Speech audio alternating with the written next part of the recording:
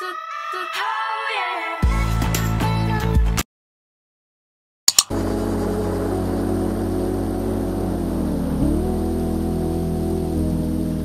guys and welcome back to another video on my channel. If you're new here, my name is Chandra and if you're returning, thank you so much. So in today's video, I'm going to be doing a review on the LIHIT LAB double pencil case. So when I received the product, it was in this plastic bag. And then when I pull it out, let me move that to the side. Here's just what it looked like. Here's what it looks like, excuse me. I got this, um, I got the pin case in the lime green color. Here's what the tag looks like.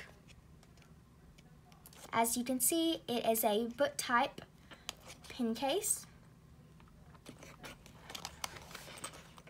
And here the tag is just showing the arrangement or organization organizational compartments of the pen case. So without further ado, let's go ahead and unzip it and take a look at the inside. So when you first open it, inside you will find some tissue paper. Let me set that to the side. And here is what the main compartments look like. So in the double, there are four different little areas for you to store like pencils or pens, something like that. This one is obviously a flap and these two, you know, are just, are there.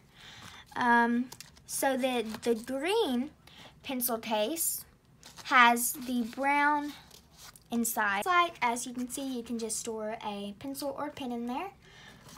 For example, I will put the uh, a Gelly Roll pen in 0.5 in there and I will show you guys how it fits.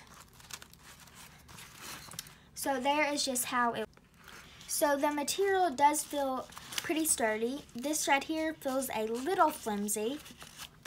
But besides that, the rest of it feels sturdy like it will hold up.